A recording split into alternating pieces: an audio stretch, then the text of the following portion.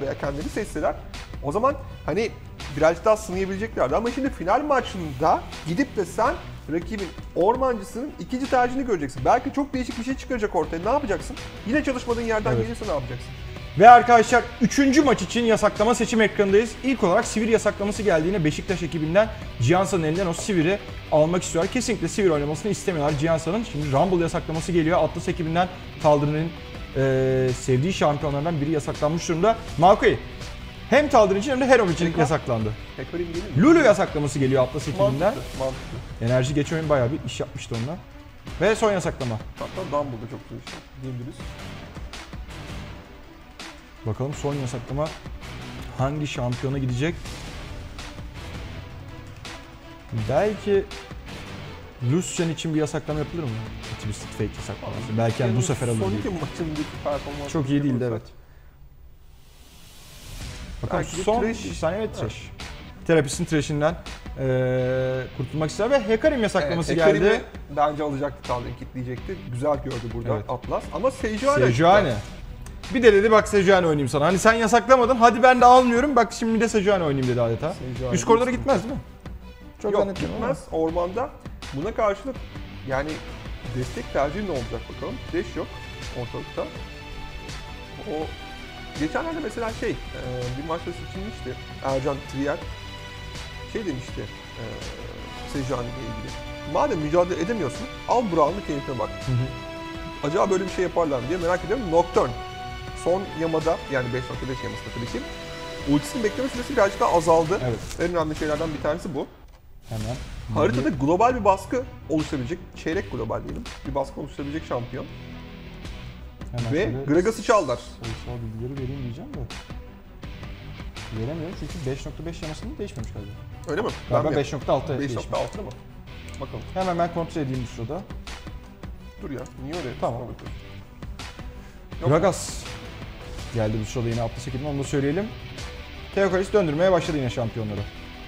Enerji Lucian üzerinde duruyor. Bakalım Nardus için Lucian tercihi gelecek mi? Ve Cassiopeia değil mi?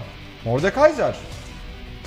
O da yapılan değişikliklerden sonra tekrardan meta'ya dönen şampiyonlardan biri aslında. Vadide görmeye başladık onu da ve Faker orta koridorda oynuyormuş. Jana Lucian ikilisi geliyor Beşiktaş ekibinden. Alt koridor tercihi bir anda yapıldı. Tabi Sejuani olduğu için Jana'nın karşı takım tarafından alınmasını çok fazla istemediler. Hemen kendileri alıyor. Şimdi bakalım Atlas ekibi hangi iki şampiyonu seçecek? Lucian şu anda Katerina üzerine duruyor ama acaba alınır mı? Özellikle hani Jana varken, Sejuani varken çok mantıklı olmaz. 5.6 5-6 mı? 5'te e, hala ilk seviyede 180 saniye. Aslında bu bir risk. Yani çünkü son dönemlerde Nocturne'ın özellikle 5.6 yamasına kadar Nocturne'ın seçilmeme sebebinin en büyüğü ilk baskınında eğer sonuç alamazsanız bir sonraki baskına çok fazla Evet. bir bekleme süresi oluşuyordu. Bakalım bu maçta o baskın yani bu özelliği aslında bana birazcık Twisted Fate hatırlatıyor. O da ilk baskınında böyle bir sonuç almak istiyor ya. Ama şöyle bir güzelliği var en azından. Dolce aşağı koridor mücadelesinde artık yani koridora çok da yakın durmak zorunda değil. Yani gidip kampları temizleyebilir ve sonradan oraya yine baskı unsuru oluşturabilir. Oo yalnız iki meta'ya yeni dahil olan şampiyon Çogat ve Diana. Yukarı koridor da Çogat'ı orta koridorda da görüyoruz. Kore'de özellikle oynandı. bence yukarı koridor Dayana, orta koridor Çoga Evet. gibi olabilir. Mücadele bakalım. Bakalım son 30 saniye Beşiktaş ekibi acaba bu iki şampiyon tercih edecek mi? Gragas'a karşı Çogat rahat olabilecektir gibi geliyor bana ama. O koridor yine yani Diana da mı gider diyorsun? Çogat'ı çok geriye gönderemez. Eğer o şekilde gelişirse olaylar Dayana ortaya giderse ama değişiyor bu. Ee, o yüzden şu anda tam bir şey söylemek mümkün değil. Ee, Dayana ortaya giderse orta koridora mobil olmayan bir büyücü seçme Hı hı. şansınız yok. Onu iptal ediyor zaten direkt. Dayana'nın öyle bir özelliği var. Evet, Dayana'nın orta koridora gittin artık. Evet üst koridora Irelia, orta koridora Diana'nın gittiği belli oldu. Böylece Beşiktaş ekibinde bu sırada Atlas ekibinden de bahsedelim. Nami ve Jinx tercihleri gelmişti. Alt koridorda bir hiper taşıyıcı göreceğiz ve Lucian şu anda LeBlanc mı Twisted Fate mi? Üstelik olmaması lazım. Bence de olmaz. Diana'ya karşı çok etkili olacağını ben de pek zannetmiyorum. Fate yani özellikle altın seviyeden sonra çok zorlanır koridorda. Katarina da zorlanır. Da çok zorlanır. Yani Ultisini bozabilir. ultisini bozacak bir sürü isim var. Irelia var. Dayana rahatlıkla bozabiliyor. Jana o nasıl bozsa bilemez. var. Yani Seju nasıl bozsa bilemez. çok riskli bir tercih olur ki yani Katerina alırsanız Aldı. Kitlendi. yani rakibin bu kitle kontrollerinin bitmesi bek- Dün mesela oynandı. Bir Eski şey takımda söyleyeceğim. Fox. Söyle. Üst koridora yollarlar mı Katerina'yı? Yok. Ama yani orta Uzun koridorda koridor şey yapması sıkıntı yaşar bir de Irelia varken karşısında. Yani dürtemezsin dediğini. Dürttüğün anda hemen kafana kafana oynar. Yanındaki milyona gelip seni sersen pıt pıt kafana vurup geri çekilip hiçbir şey yapamazsın. Yani orada söküp takar adeta o Katerina'yı. orada Gragas olması daha mantıklı. Hiç değilse hani kafa kafaya mücadele edecek bir şampiyon. Ee, şöyle bir şey var.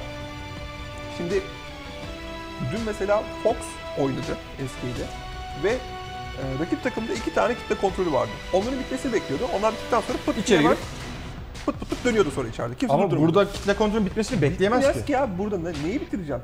Hani Irelia'sı var, işte Diana'sı var, Cana'sı var. Yani ayrıyetten Sejuani iki şekilde bozabiliyor. Evet. Hem kafa atıyor, Hem hem de ultisiyle. atıyor. Yani çok zor. Çok Jana zor. da aynı şekilde hem hortumla bozabiliyor hem ultisiyle bozabiliyor. Ama şunu Ee, çok iyi anlayabiliyorum. Ee, farklı bir şeyler yapma uğraşıyorlar. Evet, yani- Beşiktaş'ı normal yollarla yenebileceklerinin farkındalar. Son maçları olma ihtimali olduğu için Atlas ekibinin artık şu anda kaybetme lüksü yok. Şimdi önümüzdeki 3 maçı da yenmek zorundalar eğer finale çıkmak istiyorlarsa. Bu sebeple de senin de söylediğin gibi biraz daha böyle sürpriz tercihler üzerinde duruyorlar gibi gözüküyor. Özellikle ormanda Nocturne ve orta koridorda Katerina. Bakalım bunlar nasıl performans sergileyecekler. Üst koridorda Gragas ve da kapışmasını izleyeceğiz. Ee, şimdi açıkçası Atlas'ın hem Katerina'dan hem Gragas'tan gelen alan etkili bir hasar potansiyeli var. Burada bu şampiyonlar birazcık da hani kurbanlık gibi ön plana çıkıp hani verebilecekleri hasarı verip esas toplayıcı rolde e, Nami eşliğinde Jinx Evet. devreye girebilir. Ama işte arka saflara sarkabilecek iki tane çok tehlikeli şampiyondan bahsediyoruz burada. Bir tanesi Irelia, bir tanesi Diana. Yani bu iki şampiyon yeterince peel yapılmazsa, yeterince o takım savaşından uzaklaştırılmazsa yani Jinx'in yapabileceği her otomatik saldırıya karşılık kafasında bu iki şampiyondan bir tanesi bulması durumu söz konusu olabilir. Bu da hani bakıyorum şu an Gragas'ın ultisi haricinde hani Nama ultisi hani Jinx'i tam koruyabilecek mekaniklere de sahip değiller. O bu sırada totemi almayı başardı Beşiktaş ekibi orada. Jinx koymuştu yanlış görmüyorsam evet. Jinx koymuştu. Jinx'in koyduğu o totemi temizlemeyi başarıyor. Beşiktaş ekibi. Bakalım arkadaşlar söylediğimiz gibi serinin artık 3. maçıyla karşınızdayız. Mavi tarafta Beşiktaş ekibi var. Üst koridorda Irelia'yı, ormanda Sejuani'yi, orta koridorda Diana'yı, alt koridorda Lucian ve Jana ikilisini görüyor olacağız. Hemen Atlas ekibine bakalım. Onlar da kırmızı tarafta mücadele edecek. Üst koridorda Gragas, ormanda Nocturne, orta koridorda Katarina, alt koridorda Jinx ve Nami ikilisi tercih edilmiş durumda. Koridor değişikliği yok gibi gözüküyor. Hala fırsatım varken. Geçti. Peki, Ne? Kaç diyor kaç. Kaç kaç. Kaç şimdi kalma buralarda derken şimdi rakibin kayıcılardan başladığını düşündüğü için Beşiktaş ekibi şöyle bir içine girecekler ama O totem her şeyi pardon gösteriyor. pardon ben tamamen ayrı bir yere gittim şu an. Kendileri kayıcılardan başlayacak. Rakip de Gromp'tan başlayacak. Rakibin Gromp'tan başladığını biliyorlar. O yüzden kendi kayıcılarını alacaklar. Aynen öyle. Tam tersini söyledim. Burada normalde hani bozmak isterseniz esas önemli soru Cihan Sanlı'nı terapiste bırakacak. Orada bir kalabilir miyiz? Çünkü onu Gromp'un kime gideceği önemli. Evet, Yok, aldı. bıraktılar. Evet Doge alacak. Çünkü bazı durumlarda ormancı oraya çarpı atıp yan e, güçlendirmeye geçebiliyor ve hani mesela Jinx'in daha hızlı bir şekilde seviye atlayabilmesi için böyle bir fedakarlık yapabiliyorlar. Ama burada rakip hem kayıcıl avantajıyla koridora gelecek, seviye avantajı olacak. E zaten Jinx'in yani bu koridorda işleri bayağı zor gözüküyor. Belki hani Nami bir yere kadar koruyabilecek ama yani Lucian, Can ikilisi ikinci seviye oldukları gibi Jinx ile Nami'yi hemen geriye yaslayacak ve zor duruma düşüreceklerdir. Aşağıda kalabiliriz. Burada çünkü evet ikinci seviye geldiği gibi bakın hemen uzaklaştıracaklar oradan. Evet. Şu anda Evet. O ikinci seviye üstünlüğünü kullanmak istiyor ve Nardius şu anda Cihansan üzerine gitmeyi başardı. Amansız takiple birlikte. Yalnız Dumbledore'un bayağı bir canının azaldığını görüyoruz.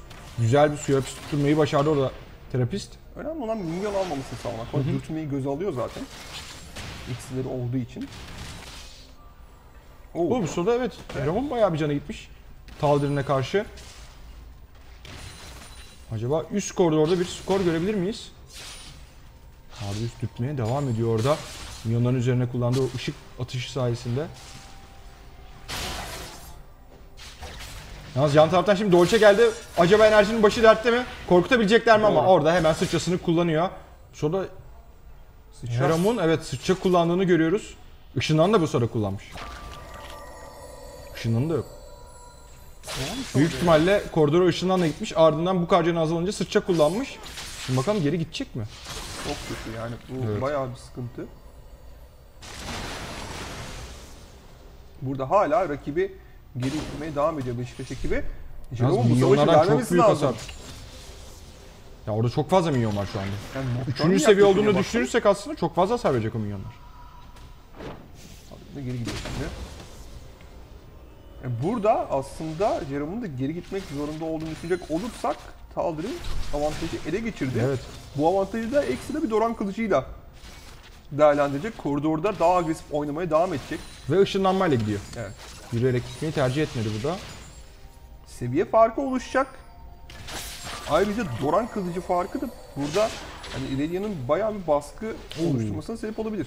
Bu sırada Teokalis or- orta koridorda kendini gösterdi fakat kötü pozisyon olduğu için hemen geri çekildi. Buradaki minyon durumu nedir? Jinx tabii geri düşmüş. 32'ye 23. Son olarak o Ragel farkı diyorum ben buna. Suya pis suya pistten kaçmayı başarıyor Nardeus. Yalnız o çok tehlikeliydi. O Evet. Uğultulu kasırga vursaydı belki skora kadar gidebilirdi o pozisyon. Sıçrayı almaya da sonlanabilirdi. Ya burada bir de sıkıntı şu terapist birazcık daha koridorda dominant olabilmek için daha böyle koridorda varlık gösterebilmek için hani tutuşuyla girmiş ama şu ana kadar o tutuşun herhangi bir faydasını görmediler. Aynen Kayıcıl öyle. farkı burada yani Gromp'u tam Nocturne'un erken bir seviyede 6. seviye olmasını istiyorsunuz ama gel gör ki karşında verdiğiniz şey Dolce- çok fazla olabilir. Bu sırada üst koridora bir baskın denemesinde bulundu fakat Taldir'in oradan sıçrasını kullanmadan geri çekilmeyi başardı.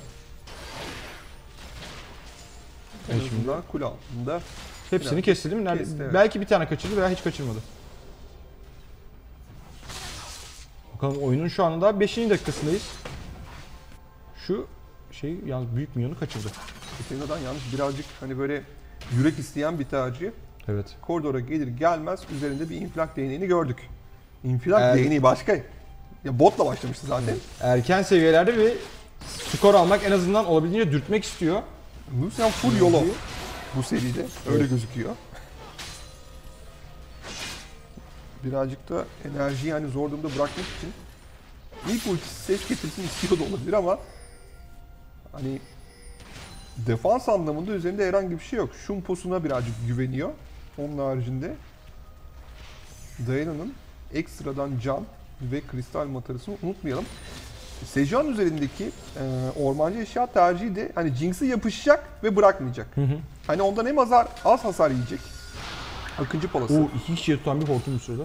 Akıncı palasıydı hatırlıyorum. Evet. Ee, hem ondan az hasar yiyecek. Gerçek hasar vurması falan çok önemli değil.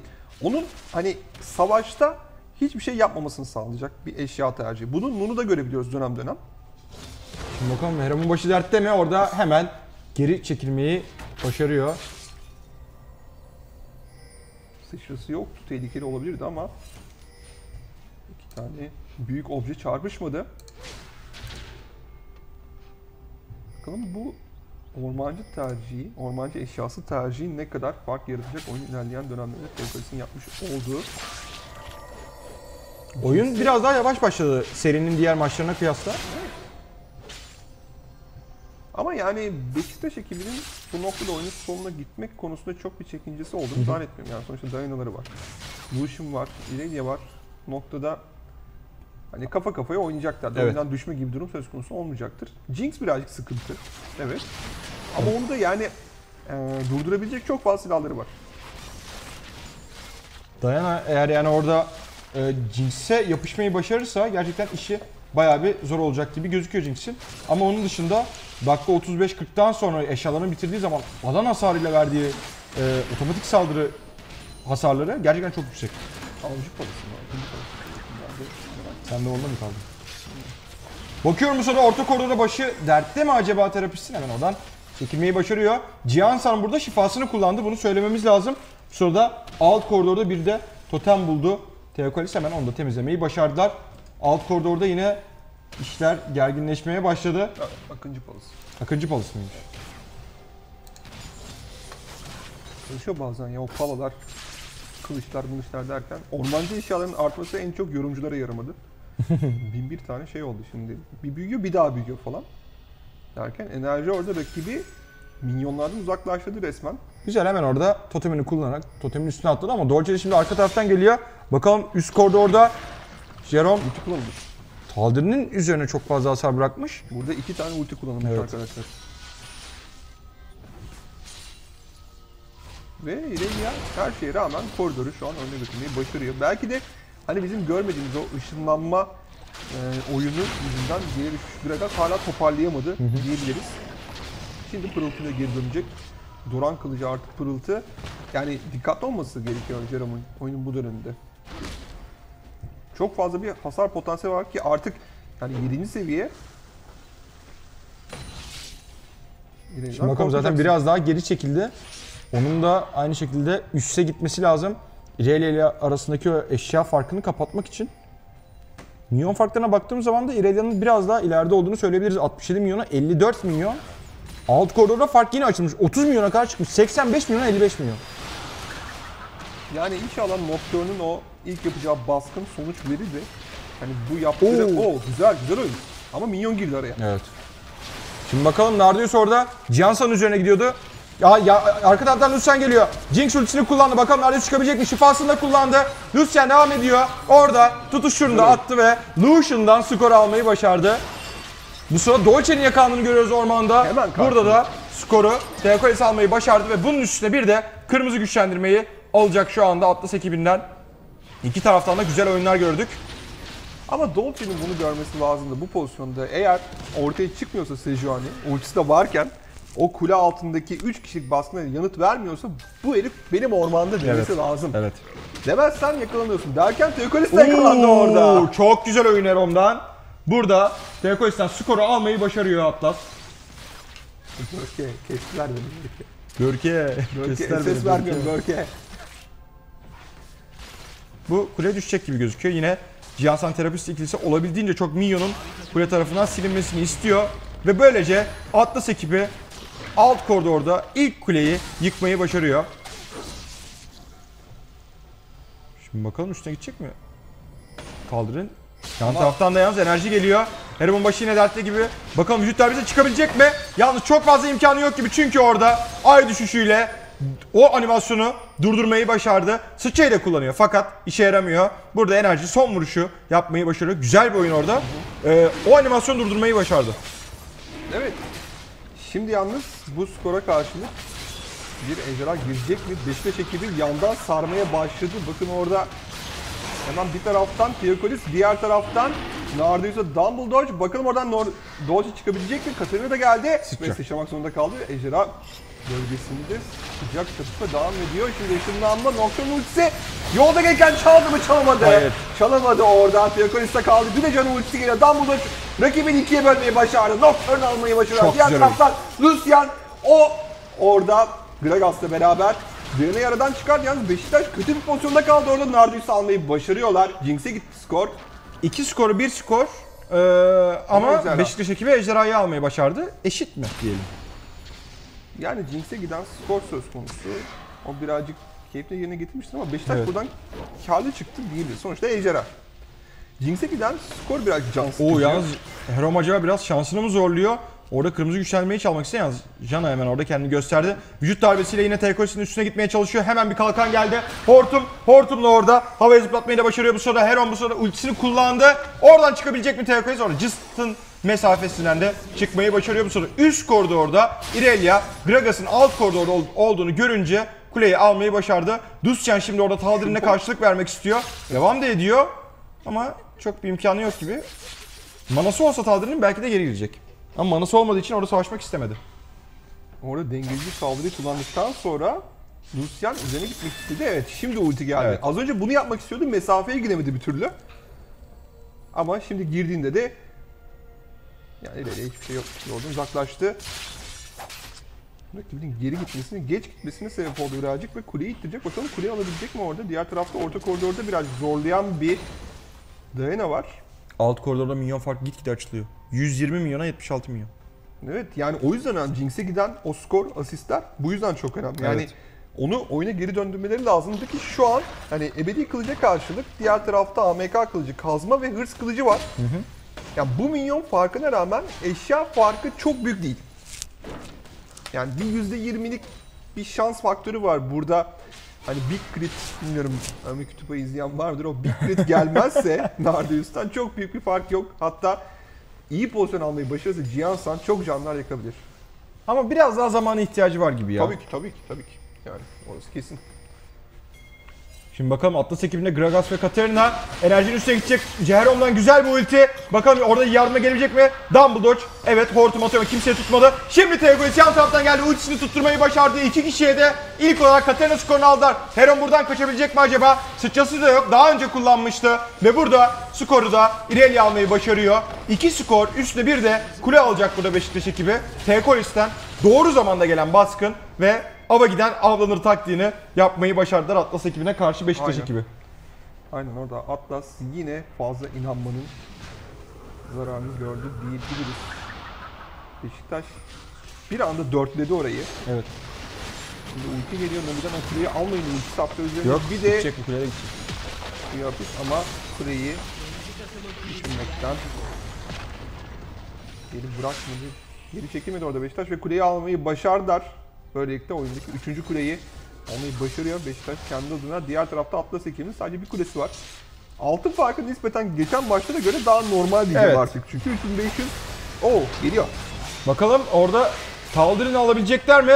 Jinx'ten bir de ulti geliyor. Çıkabildi mi orada üstünde tutuştu beyaz. Dumbledore'dan inanılmaz bir ulti. Ve orada Taldir'ini kurtarmayı başarıyor. Yalnız Ardios şimdi içeride. Düşecek mi? Evet düşüyor. Peki Katarina çıkabildi mi oradan? Hayır Dumbledore orada. Kulenin de yardımıyla skoru almayı Tehlikeli. başarıyor. Şimdi devam edecekler çünkü Teokolis arka taraftan geliyor ama Taldir'in canı çok azalmış durumda. Atlas ekibi bu savaşı yapmak istiyor gibi gözüküyor. Eğer Jinx'i koruyabilirlerse istedikleri gibi bir savaş yapabilirler. Ama hayır geri çekilmek tercihinde bulundular. Evet, bu maç diğer maçlara göre birazcık daha hani kafa kafaya gidiyor diyebiliriz. Atlas biraz daha karşılık verebiliyor şu Aynen. anda Beşiktaş'ın oyunlarına. Katerina'nın durumu iyi. 2-2-2 ama yani Beşiktaş takım olarak oynadığı sürece, o ultileri, yetenekleri birleştirdiği sürece Katerina'yı bayağı zor durumda bırakacaktır. Yani Jinx'i de eğer savaştan uzak tutmayı başarabilirse Sejuani veya işte Irelia olur, Diana olur.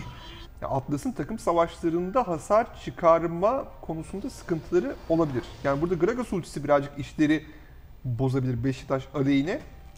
Ama o ulti eğer istenilen şekilde gelmezse yani Beşiktaş beraber oynadığı sürece Atlas'ın işi çok zor gözüküyor. Aynen öyle. Enerji bu sırada alt koridoru bayağı bir ittirmiş durumda hemen geri çekti. Orada bir totem buldu ama zaten totem kendi kendine yok olacaktı. Çok az bir süresi kalmıştı. Bir de Diana ile ilgili şunu söylemek lazım. İmza bir hareketi vardır. İyi Diana oyuncularının yaptığı. Ee, normalde Q'yu tuturduktan sonra ulti atarsın. Sonra Q bir daha... havadayken mi? Evet. Ulti yani Q'yu attıktan sonra ultiye başlayıp aslında Q'nun vurma ihtimalini hesaplayarak onu yapabilirsen işte o zaman gerçek Diana oyuncusu, iyi oyuncu ortaya çıkabiliyor. Yapması çok zordu. Bir keresinde böyle bir stream'e kapılmış. Adam böyle başlamış, bir saat falan uğraştı. En son yok abi ben. Ben o adam ben Kapat. değil mi dedi. Yani bayağı zor, hakikaten bayağı zor bir hareket. Bakalım burada görecek miyiz? Enerjiden bir hareket. Güçlendirmeyi alıyor kendisi. şimdi. Evet. Şuram da yukarıda ittirilen koridoru savunmaya çalışıyor. Şimdi bakalım oyunun 17. dakikasındayız. 27.700 altına 24.000 altın. Yine burada 3.800 altınlık bir fark yarattığını söyleyebiliriz Beşiktaş ekibinin. Yani bir Beşiktaş ekibi koridorları ittiriyor. Ardından Atlas ekibi o ittirilen koridoru temizleyip onları ittiriyor. Şu anda oyun biraz daha duruldu ama işte ejderha çıktı. Bu ejderha işlerin gidişatını değiştirebilir. Teokois bakalım burada Yampiri yengeç evet rahatlıkla almayı başardı. Burada görüş avantajı şu anda Beşiktaş'ın elinde. Ya olay Jinx takım savaşında hani kontrol etmek ya da edememek gibi duruyor. Yani Katarina'ya çok fazla ilaçları var. Katarina'yı durdurabilecek çok fazla planları var. Ama Jinx'i kontrol edebilecekler mi? O bir soru işareti. Yani Gragas artık Katarina'nın bıraktığı hasarı ulti ile tamamlamayı başarırsa pasifi sayesinde çok büyük zararlara yol açabilir. Bu noktada Jiansan yemlenmemesi lazım orada. Evet. bir şekilde. Ejderha bölgesi tehlikeli bir bölge atması için. O ejderhayı ne kadar isterler soru işareti. Bakalım yalnız orada Lucian orada Dumbledore bayağı bir dürtmeyi başardı. 500 cana kadar indirmeyi başardılar ve Sejuani orada çarpıyla birlikte ejderhayı alıyor. Şimdi bu sırada e, ışınlanma geldiğini görüyoruz ama Taldir'in ama terapist sonra güzel bir dalgayla terapisti durdur e, özür dilerim Taldir'i durdurmayı başardı. Nocturne oradan çıkabilecek mi? O da sıçrasını kullanmak zorunda kalıyor. Kötü bir pozisyonda kaldığı için Evet, bu yani ejderha da bedavadan Beşiktaş ekibine gitti diyebiliriz. Sirdar büyüsüne karşılık Sirdar büyüsü ekstradan ejderhayı almayı başardı Beşiktaş. Bir de üzerine terapiste Terapist mi? mı acaba? Bakıyorum. Geri çekilmeyi başardılar. Bakıyorum kafa üstünde kafaya. büyük hasar var mı? Hayır orada ilk olarak Nami skorunu almayı başardı. Şimdi devam edecek mi? Hayır Dolce kuleye sarılmış durumda. Bekliyor. Alt koridordaki kuleyi almak istiyorlar şu anda. Enteresan bir hareketti. Yani terapisten beklemiyordum açıkçası. Evet. Pozisyonda direkt zaten oraya Dayana geldi. görmüştü sanki. Bilmiyorum görmedim mi acaba ya da? Yani bu istilaya şu anda karşılık veremiyorlar. Ee, Atlas ekibinde şöyle bir sorun var. Takım savaşı başlatma potansiyeli olan şimdi 3 isim var. Bir Nami. Nami ölmüştü biraz önce takım savaşı ultiyi o şekilde kullanamadım. Evet. Sejuani ama ultiyi kaçırıyor. Ulti yan vadiye gidiyor arkadaşlar. Yine bakalım neler olacak burada. Katerina bütün ultilerini kullanmayı başardı. Nocturne bu sırada Irelia skorunu alıyor. Ultisiyle birlikte birebir bir değişim. Burada Tekois'in ultisini kaçırması işleri bayağı bir herhalde değiştirdi. Birebir değişimle takımlar artık ayrılıyor. Bu sefer Börke zararını gördü. Evet. O ultiyi kaçırınca enerji orada kurt gibi bekliyor. Bakalım şimdi orada terapist bu sefer o kadar Bu kolay sefer evet değil çekildi. Ama sıçra gitti. Oo. Devam Enerji ederler mi orada. acaba? Enerji şu anda Herom'u yine kendine çekti o ay düşüşü sayesinde. Fakat Hilal saldırısı da geldi. Yani Yok, geri Ejderha da çekildi. yok orada fazla bir şey olacağını zannetmiyorum. Bir yapsam en iyi yaptığı şey döndü şu an. Minyon biçiyor. Gerçi arada yine büyük bir minyon farkı var. 50 milyonluk. Dönüşünde artık ebedi kılıç bitecek Hı hı. ama statik hançeri yeterli parası olduğunu zannetmiyorum. Jianson adına. Bayağıdır çünkü o hırs kılıcıyla minyon biçmeye devam ediyor. O ekstra altın tabii ki yani rakibin 50 milyonunun farkını kapatmaya yeterli olmayacak ama bir nebze niye bakmıyoruz altın farkına? Ben niye kendim farkına? Bir altın farkına bakabilir miyiz? 6400'e 7300, 9000 900 altında bir fark var. Yani bir nevi kurtardı diyebiliriz. Derken orada Dolce çalmayı başardı kendi kırmızısını. Tabii bu da özetliyor haritanın durumunu şu an itibariyle. Beşiktaş yine ön kuleleri erken topa düşürdüğü için oyunlar yapmaya devam ediyor. Taldir'ini güzel bir ultiyle kendisinden uzaklaştırdı. Yalnız yan taraftan şimdi Dolce de geliyor, terapist de geliyor. Taldir'in başı dertte olabilir. En arka taraftan da Dumbledore geliyor. Bakalım Taldir'ine yetişebilecek mi? Dolce korkutmaya çalışıyor ve evet şu an Taldir'ini korkuttu ama Dumbledore doğru zaman doğru yerde. Dolce skorunu alabilecekler mi? Namu ultisini kullanmak zorunda kalıyor. Taldir'ini geri püskürtmek için Taldir'in hala devam ediyor. Dolce skoru çok güzel bir ulti bu sefer Teokolis'ten. Ormanın içinden atılan bir ulti. Hem Nocturne'e hem de Gragas'a çarptı. Herom skorunu alabilecekler mi? Bir suya hapis denemesi ama hayır olmuyor. Taldir'in burada 2'de 2 yapmayı başarıyor. Lucian'ın canı çok azalmış durumda. Acaba burada skor almaya çalışacaklar mı? İlk olarak milyonlarla birlikte kuleyi almak istiyorlar. Burada Lucian'a gitmesine izin vermeyecekler diye tahmin edilir mi? Jinx yokken niye savaşıyorlar? Zaten hani gerideler şu an. O Jinx'e ihtiyaçları var. O Jinx Evet. olmadan hasarları yok. İleriye kovalıyorsun ya. Hem de iki kişi kovalıyorsun. Yani adamın pasifi zaten beni çok kişi kovalayın, kitle kontrolü ki üzerime. Ben o kitle kontrolü etkilenmeyeyim, geri döneyim, hepinizi keseyim. Ki öyle Aynen yaptı öyle. yani. Nocturne en önde duruyor ama takım arkadaşlarından terapist ve Cihansan sadece orada. Bu kuleyi korumalarının çok bir imkanı yok gibi. Dakika 22'de bize Dolce üzerine gidiyorlar. Bakalım orada skor alabilecekler mi? Lucian da içeride. Taldir'in içeri girdi. Çok güzel bu ulti. Lucian orada ultisiyle birlikte skoru almayı başardı. Gerçekten çok iyi oynadı burada Nardius. Ee, şimdi inhibitörü alacaklar gibi gözüküyor. Üstünde büyük bir hasar var ama ön saflarda durmaya devam ediyor. Burada inhibitörü aldıktan sonra Beşiktaş ekibi geri çekilmeye karar veriyor. Nardius çok iyi oynadı orada. Yani inanılmaz bir pozisyon aldı ve son e, vuruşta da e, ultisinden gelen son kurşunla da Katarina skorunu almayı başardı. Şimdi burada bir tuzak denemesi. Totem yok orada. Bakalım Atlas ekibi oralara ilerleyecek mi? Yok. Tesadüfen ilerlemiyorlar diyelim. Yani direkten döndüler hatta. Evet. Baron yapacağına pek inanmıyordu rakiplerinin girişimden sonra ama tuzak ihtimalini düşündüler bence. Diyorum çok derinlere dalmadan şöyle bir kontrol etti. Sonra geri çıkınca tuzaktan bir sonuç çıkmadı Beşiktaş adına. Katarina Gül'ün feryadını bitirmek üzere. Tabii ki bu da hani çok hareketli olan bir şampiyon için iyi bir tercih. Hı hı. Ve ekstradan bir alan etkili hasar da aslında Jinx'in çok işine gelecek bir Evet. durum. Ama yani o tren galiba kaçıyor. Çünkü bakıyorum Sejuani üzerinde şu an ekstradan bir e, demir soruları broşu var. Ki rakipten gelecek alan etkili hasara karşı iyi bir önlem. Yani o Jinx'in ultisinden sonra skor alma potansiyelini ortadan kaldırırsa bu arada Taldir'in rakibini kovalıyor. Başı büyük dertte. Nami'den yine ulti geldi ve burada Herom'u kurtarmayı başardı. Ultiler hep birilerini kurtarmak Evet. adına atılıyor. Daha takım savaşı başlatmak için çok fazla kullanılamadı. Ya Atlas ekibi genel olarak şu anda Beşiktaş'ın eee, aldığı taktiğe karşılık vermeye çalışıyor. Kendi bir hareket başlatmıyor. Yani o alan etkili hasar vermeleri hakikaten çok zor olacak. O Jinx'i istediği aradığı skoru buldurmak çok zor olacak. Çünkü yani Beşiktaş'ın ön safları gittikçe kalınlaşıyor. Hani hem Irelia hem Sejuani yani yeterince büyük direncine de sahipler. Flick özellikleri de artık ortaya çıktı. Yani onları o Jinx'in hasarıyla bitirme Üçüncü ejderha. stratejisi ortadan kalkıyor gittikçe yani vakit geçtikçe çünkü arkada da cana faktörü var. Hani birisinin canını bir noktaya kadar indiriyorsun, gidiyor orada pıt diye bir kalkan atıyor, pıt diye canını yeniden dolduruyor, iyileştiriyor vesaire derken o Her sanki bozuyor. ortadan kalktı ya. Aynen öyle. Biraz önce gördüğünüz gibi Beşiktaş ekibi 3. ejderhayı aldı ve şu anda alt koridordaki inhibitörü istiyor gibi gözüküyor. Bakın burada kuleye dayanmış durumdalar. Burada rahatlıkla alabilecekler gibi gözüküyor. Katerina da şimdi oraya bir müdahalede bulunmak istiyor. Patlangaçlar geldi. İki kişiyi yerine mırlamayı başardı fakat devamı gelmedi. Şimdi Dolce ultisini kullandı. Taldir'in üzerine gidiyor. Yanlış bir hedef olabilir o. Dolce geri çekilmek zorunda kaldı. Duruşundan güzel bir ulti. Teokoysan çok güzel bir ulti. Nocturne e, Jinx ve Gragas üstünü tutturmayı başardı. Gragas skorunu alabilecekler mi acaba ama Taldir'in orada üst tarafından öldürülüyor. Gitti çeşmeye gitti çocuk. Çeşmede öldürüldü ya. Annem muhabbeti yaptı ya.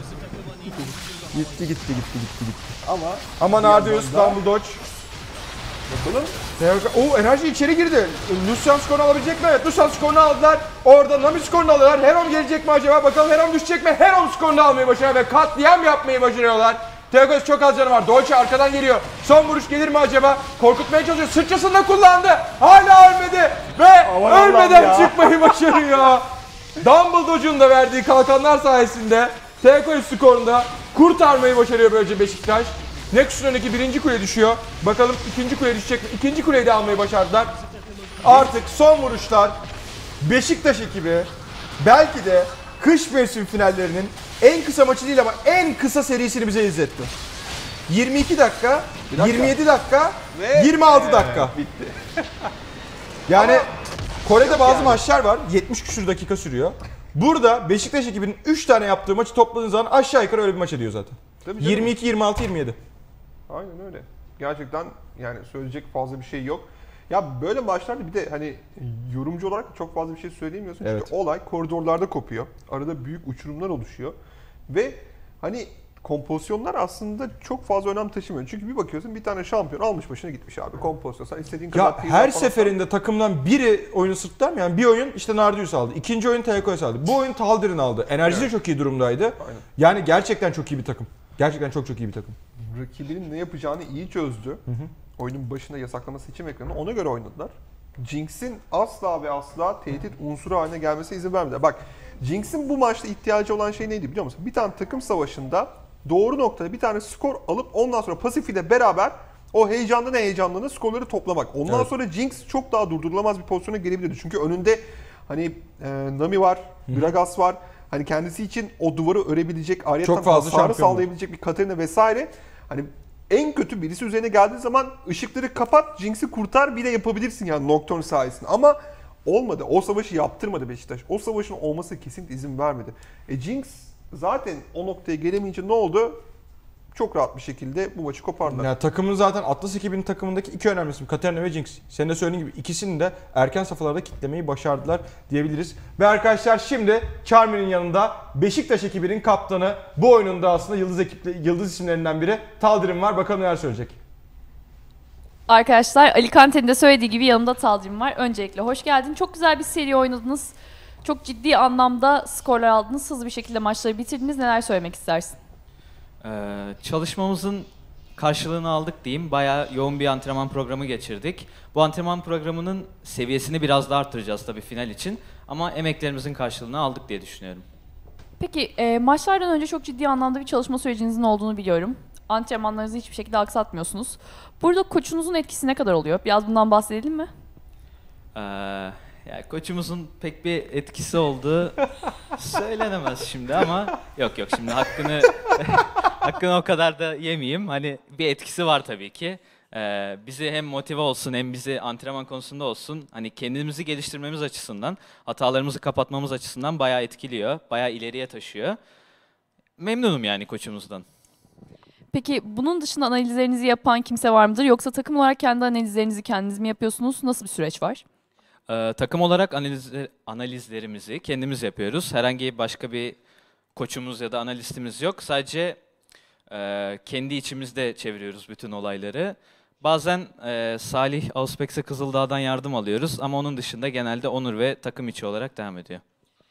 Peki KMF'ye gideceğiniz kesinleşti. Neler hissediyorsunuz? Asıl bunu sormak lazım. KMF'de olacaksınız. 4 Nisan'da Volkswagen Arena'dasınız. Hazırlık nasıl olacak? Çok az bir sürede var. Haftaya oradayız. Ee, zaten finalimiz, daha doğrusu kazanmak hedefimiz. Finale çıkmak bizim için sadece bir adımdı. Hani o yüzden o kadar sevindiğimizi söyleyemem. Finali kazandığımızda e, tekrar konuşalım derim bu konuyu. Çok güzel. Bir hayli iddialı olduğunuz aşikar. Peki buradan destekçilerinize söylemek istediğim bir şey var mı?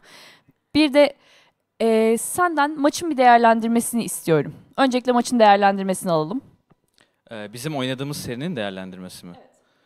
Ee, açıkçası biz Atlas'ın ya bu kadar e, üstün bir fark olacağını ben düşünmüyordum açıkçası. Biraz daha kapışmalı geçer diye düşünüyordum maçları. Ama e, hem çalıştığımız şeyleri güzel uyguladık, hem hatalarımızı minimuma indirgedik, hem de Atlas'ın hatalarından güzelce faydalandığımızı düşünüyorum. O yüzden bizim için kolay bir seri oldu. Bakalım finalde nasıl bir seri bizi bekliyor olacak. Bu arada bütün destekleyenlere, bütün fanlara da teşekkür ediyorum. Finalde görüşmek üzere. Son bir sorum daha var. Yarınki maçları da biraz değerlendirmeni rica edeceğim. Çünkü HVA ve DP karşılaşıyor olacak. Ezeli rakipler diyebiliriz onlar için. Sence durum ne olacak? DP'nin çok ciddi bir çıkışı var bu son dönemde. Nasıl değerlendiriyorsun iki takımın performansını? Eksiklikleri neler, artıları neler? Şimdi eksikliklerini, artılarını burada yatırmayalım bence. Çünkü sıkıntı olabilir. Hani fark edilmemiş noktalara e, parmak basmış olabilirim. Ama şöyle söyleyeyim. E, ikisinin de kendine az güçlü ve zayıf yönleri var. Bakalım hangi takım e, bunları daha iyi avantajına çevirirse o kazanacaktır. Ama ben açıkçası DP'nin kazanma şansını biraz daha yüksek görüyorum. Geldiğin için çok teşekkürler. Arkadaşlar, e, yorumcularımızın da bir sorusu var. Hemen dinleyelim, onu da sormak istiyoruz. Whiskater çok iddialı bir açıklama yaptı. Dedi ki finalde karşılaşırsak çok rahat yeneriz. E, Caner, yani Johnny diyor ki, geçen hafta biliyorsun buraya Ferit geldi. Çok ciddi anlamda iddialı açıklamalar yaptı. Sizin takımınızla alakalı da iddialı açıklamalar oldu. Neler düşünüyorsun o iddialar hakkında? E, ben buna gereken cevabı Twitter üzerinden verdim. Geri kalan cevabı da finalde kendilerine iletiriz. Ee, arkadaşlar ortam gittikçe kızışıyor, ateşleniyor. Ne diyeceğimi ben de bilemiyorum. Söz yorumcularımızla birazdan tekrardan burada olacağım. Arkadaşlar hepinize tekrardan merhaba diyelim. Biz geri geldik. Söylediğimiz gibi kış mevsim finallerinde 4 Nisan'da Volkswagen Arena'ya çıkacak ilk isim belli oldu. Beşiktaş ekibi 3-0'lık e, galibiyetle finale çıkmaya hak kazandı. Bakalım yarın neler olacak? Yarın da Dark Passage ve HBA karşılaşması var. Neler diyorsun? Valla çekişmeli olacak gerçekten ama e, daha bu yayının en başında söylediğim sözün arkasındayım. Bu meta değişimi iki takıma çok yaradı. Bir tanesi Evet. Beşiktaş, bir tanesi Dark Passage. Dark Passage'e daha fazla yaradığını düşünüyorum. Neden? Yukarı koridordaki tank e, mevzusuna bir de ormandaki tank eklenince evet, evet. geçen sezon mesela e, Crystal çok etkili Nunu performansları vardı. Bunun üzerine kompozisyonlar çıkarabilirler. ve Holy Phoenix'e odaklanarak, birazcık Naru'ya odaklanarak ikili taşıyıcı kompozisyonu bence Elvind'de çok iyi yapabilirler. Çünkü Elvind yukarı koridorda geçen seneki e, Fab'ın o taşıyıcı rolünü çok fazla üstlenemiyor. Ama olay tank olunca, tank rolü olunca hakikaten iyi performanslar gösteriyor. Mesela bir Sion performansı, bir Maokai performansı Elvind'in şu ana kadar 10 numara 5 yıldız. Ama ne zaman ki olay birazcık daha hani taşıyıcı bir şampiyona doğru döndü o zaman geride kalıyordu. Bu yüzden bu e, metadaki değişimin ben en çok Elvind'e yaradığını düşünüyorum. Yani oyuncu bazında düşünecek olursak Elvind yarın çok iyi performanslar gösterebilir. Bir de ona Crystal eğer tercih ederse böyle tankımsı ormancı Sejuani, evet. işte Nunu aşağı koridorda istedikleri bir nişancı alabilirlerse böyle Kalista, Kog'Maw, Jinx yani Dark Passage'in çok farklı bir görünümle karşımıza çıkabileceğine inanıyorum. HBA ekibinden de bahsetmek lazım. Ee, HBA ekibi aslında TT maçıyla birlikte zaten kış mevsim finallerine başladı. 3-2'lik bir seride e, galip gelmeyi başardı. Yarı finale adını yazdırdı ve hani çok formda olduklarını söyleyebiliriz. Aslında çok daha elleri ısınmış durumda şu anda. Dark Passage ekibi yarı finalden direkt mücadeleye başladığı için onlar biraz da e, perdenin geri arka tarafında ve artık antrenmanlarını yapıyorlar. Bakalım yarınki maç gerçekten çok çekişmeli olacak gibi gözüküyor. Arkadaşlar bugünlük serinin artık sonuna geldik. Sen bir şey mi söyleyecektin? bir şey söyleyecektim ama. Buyur söyle. Özür Ee, dilerim. Hemen bir anda bak sana geri döndüm. Söyle abi. Ya Hever'le ilgili de şunu söylemek istiyorum. Ee, şu an en iyi yaptığı şey bence koridoru kazanan şampiyonları, etkili şampiyonları alıp maçı e, kar topuna bağlayıp öyle Evet, kazanmak. evet, Aslında bugün evet. Beşiktaş'ın yaptığı şeyi HVA da çok iyi yapıyor. Ama bunu Dark Passage'in karşısında ne kadar yapabilecekler? Bu önemli. Onların da bence kazanma kriteri bu olacak. Koridorları kazanacak. Mesela Graves tercihi, orta koridorda LeBlanc tercihi, yukarı koridorda işte Fab'ın en tane tercihi, Casio ile oynuyor, Morgan oynuyor vesaire vesaire. Eğer koridorları kazanmayı başarırsa o zaman Dark Passage'in o e, Holy Phoenix'in veya işte Naru'nun üzerinden e, taşınma potansiyelini ortadan kaldırabilirler. Eğer yeterince kartopu etkisini yaparlarsa. Yani bence EVA'nın da çıkış formülü bu.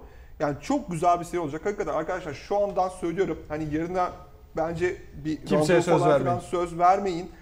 İnanılmaz bir seri. Ya bugün izlediğimiz serinin bence 10 katı e, seyir zevki çok daha yüksek bir maç bizi bekliyor. Bir seri bizleri bekliyor.